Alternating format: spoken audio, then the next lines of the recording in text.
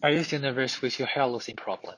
Considering the increasing number of the hair transplant, we decided to develop a hair follicle cloning technology to meet the demand for the hair transplant.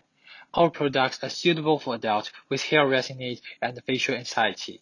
The traditional defective of the hair transplant uses the back follicles and convert it into the forehead.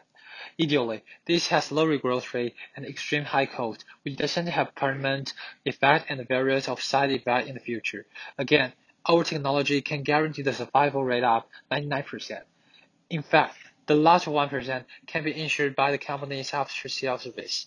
In contrast to the competitor, the company will offer cheaper, amiable, and affordable price that is suitable of the willingness to pay the price in the future in the market.